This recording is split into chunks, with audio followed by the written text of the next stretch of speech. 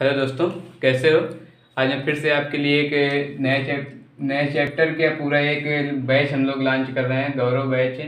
और इसमें मैं आपको अप्लाइड फिजिक्स पढ़ाया, पढ़ाऊँगा। जैसे कि सर ने बता दिया होगा कि हम सर कुछ अदर सब्जेक्ट पढ़ाएँगे, इसके बाद दूसरे सर रहेंगे जो केमिस्ट्री पढ़ाएँगे, और इसके बाद इंजीनियरिंग रैंक के सर डिफरेंट होंगे, और मैं आपको फिजिक्स पढ़ाऊँगा अप्लाइड फिजिक्स तो ये अप्लाइड फिजिक्स होता क्या है? सबसे पहले अप्लाइड फिजिक्स के अंदर हम लोग ये मतलब पढ़ते क्यों हैं? कि इसके बारे में हमको क्या पता होना चाहिए? अप्लाइड फिजिक्स का मतलब उसमें हम क्या तात्पर्य क्या होता है कि पढ़ने का कुछ ताल्लुकात होना चाहिए? क्यों क्यों पढ़ते हैं फिजिक्स तो देखिए फिजिक्स क्या होता है कि कोई अगर हम पदार्थ ले लेते हैं एज इमेजिनेशन के रूप में अगर ये मार्कर है तो इस मार्कर की अगर हम देखें तो इसके अंदर का जो कंपोनेंट है कि इसके अंदर जो इंक बड़ी है इंक में कौन सा केमिकल है? ये तो आपका केमिस्ट्री के अंतर्गत आ जाता है, लेकिन इंक की हाइट कितनी है इंक की, इनका डायमीटर कितना है इंक में क्या क्या है, और ये तो ये पूरा जितना आता है, जो बाहरी रूप से देखा जाता है तो क्या होता है कि वो आपके फिजिक्स के अंतर्गत आता है। तो physics is most important to learn science ठीक है? तो इसके, इसमें हम देखेंगे कि इसमें कुछ चैप्टर हैं पहला चैप्टर जैसे यूनिट एंड डायमेंशन इसके बारे में हम देखेंगे कि unit and dimension unit means क्या होता है? मात्रक होता है डायमेंशन में बीमा होता है। और एक बात बता दूँ कि जो मैं इसमें मतलब इंग्लिश के रूप में पढ़ाऊँगा, हिंदी पढ़ाऊँगा इंग्लिश के एज ए फॉर्म में पढ़ाऊँगा। और इसमें क्या होता है कि सी और यूपी दोनों लोग पढ़, दोनों उसके बोर्ड के लड़के होंगे तो इस वजह से पढ़ रहे होंगे। तो इस वजह से मैं क्या करूँगा कि दोनों इंग्लिश में पढ़ाऊँगा। तो इससे बेटर रहेगा कि आपकी प्रिपरेशन भी अच्छी होगी और यूपी बोर्ड के बच्चे ध्यान दें कि अगर आप बीटेक करने जाते हो या इंटर के बाद आप कुछ भी कोर्स करते हो डिप्लोमा ग्रेजुएशन कहीं भी जाते हो, आपको इंग्लिश की मोस्ट नेसेसरी पड़ेगी अगर आप इंटर के बाद जेई आईआईटी लेवल की कोई भी तैयारी करते हो या एनडीए की तैयारी करते हो तो उसके लिए भी इंग्लिश की आवश्यकता पड़ती है। तो ये बात ध्यान रखें कि इंग्लिश को काफ़ी मतलब अच्छी तरीके से तैयार करते रहें। तो इसमें कुछ चैप्टर हैं, इनके बारे में आपको बता दूँ। यूनिट एंड डायमेंशन है। तो क्या होता है कि यूनिट एंड डायमेंशन में कि बताया ना आपको कि ये मार्कर है तो मार्कर का डायमीटर कितना है, ये सब कितना है तो ये डायमेंशन डायमेंशन का मतलब होता है कि देखिए डायमेंशन का मतलब बीमा होता है। अब कैसा, जैसे कि एक ये है, ये ये पेज है, या एज इमेजिनेशन के रूप में ये आप ये ले लीजिए। तो इसमें क्या है कि आपको ये बुक है अब इसमें क्या है कि अगर एक हद इसको देखा जाए तो इसमें थ्री डायमेंशनल होगा। थ्री डायमेंशनल कैसे होगा? इसमें आपकी ये ब्रीथ हो गई, इसमें आपकी, इसमें सॉरी ये लेंथ हो गई और ये ब्रीथ हो गई और इसके बाद इधर क्या हो गई? ये हाइट हो गई। तो इसमें क्या होगा थ्री डायमेंशनल हो गया। एज ए कोई चीज़ होती है वो टू डायमेंशनल जैसे आपका खेत हो गया तो खेत में क्या होता है? लेंथ होती है ब्रीथ होती है। तो ये क्या हो गया? टू डायमेंशनल हो गया। और जैसे कि आपका हो गया घर हो गया या रूम हो गया तो थ्री डायमेंशनल होता है। तो डायमेंशन का मतलब ये होता है। तो डायमेंशनल का मतलब यही होता है कि वो मतलब उसके अंदर हम कितनी साइड्स का अध्ययन कर रहे हैं, ठीक है? फोर्स एंड मोशन में क्या होता है? फोर्स जैसे कि एज ए फॉर एग्जांपल मैं प्रैक्टिकली पढ़ाऊँगा। ज़्यादा आपको उसमें रट्टाफिकेशन मारने की कोई आवश्यकता नहीं होगी, क्योंकि मैं देखता हूँ कि मतलब फिजिक्स के लड़के फिजिक्स में क्या करते हैं कि समझ में आप तभी नहीं आती है, क्योंकि वो रट्टा मारते हैं। जड़त्व तो क्या होता है? जड़त्व को वो ये देखेंगे कि अगर कोई वस्तु होती है, कोई वस्तु होती है, बस ऐसा रट्टा मारते रहते हैं तो उससे प्रॉफिट नहीं होता है तो इसको मतलब प्रैक्टिकली सीखेंगे हम लोग केवल। पढ़ेंगे नहीं, सीखेंगे किस चीज़ को। फिजिक्स को मैं सिखाऊँगा। तो इसमें क्या होता है कि फोर्स एंड मोशन में देखिए। फोर्स क्या होता है? जैसे ये रखा है तो इसके बाद ये साबुन है।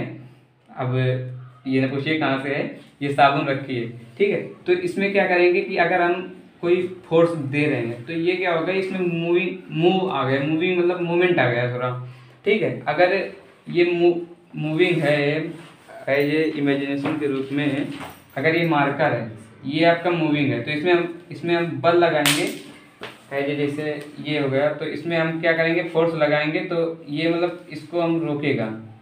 तो क्या मतलब कहने का मतलब क्या है कि फोर्स का मतलब होता है यदि किसी पार्टिकल को या किसी ऑब्जेक्ट को हमको क्या करना होता है मूव करना होता है या उसको रोकना होता है तो उसमें हम क्या करते हैं फोर्स लगाते हैं। ठीक है तो वो फोर्स हो गया। अब मोशन क्या होता है? हम लोग देखते होंगे कि अपनी डेली लाइफ में देखते हैं कि मोशन में क्या होता है कि गाड़ियाँ चलती रहती हैं।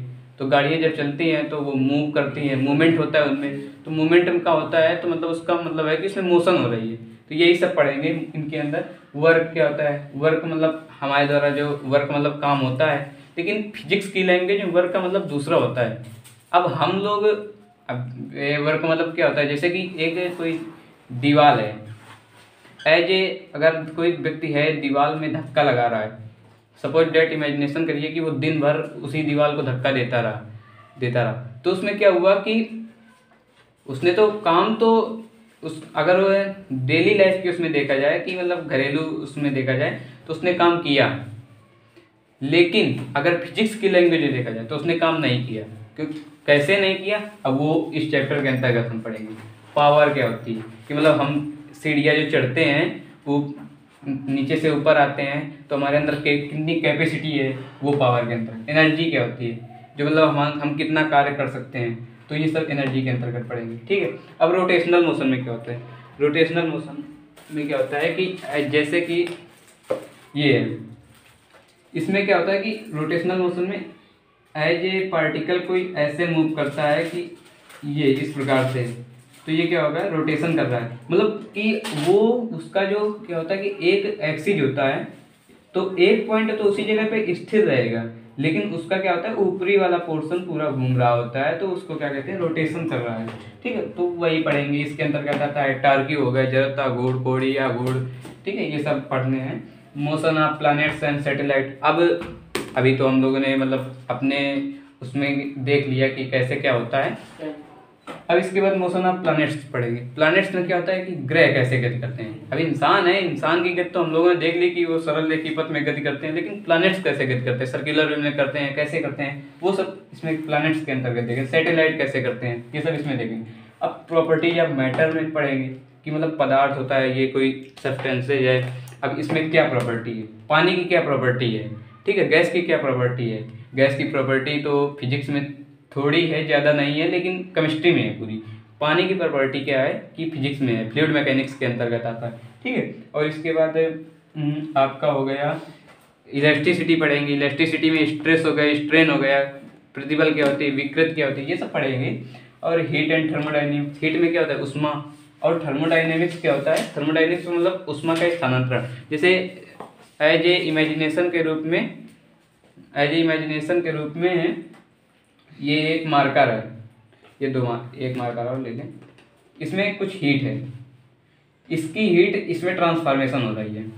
ये हीट तब तक ट्रांसफ़र होती रहेगी जब तक कि अगर मान लीजिए इसमें दस की है, इसमें ज़ीरो की है, ठीक है? इससे हीट तब तक निकलती रहेगी, तब तक निकलती रहेगी जब तक कि इसमें पाँच नहीं हो जाएगी और इसमें पाँच नहीं हो जाएगी, ठीक है? इसे क्या कहते हैं? तापी साम्य मतलब साम्य का मतलब होता है इक्विलिब्रियम अब साम्यावस्था एक चैप्टर पढ़ा होगा आपने इक्विलिब्रियम का उसी का है इक्वल जब तक दोनों में इक्वल नहीं हो जाएगा, तब तक ऐसे होता रहेगा, ठीक है?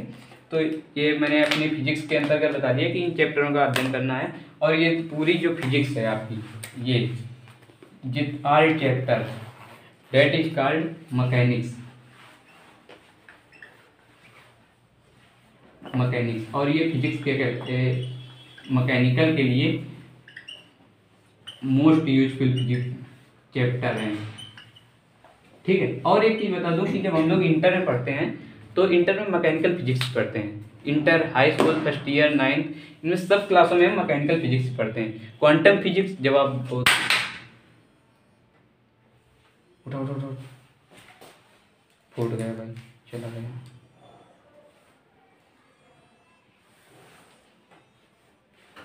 बंद। भी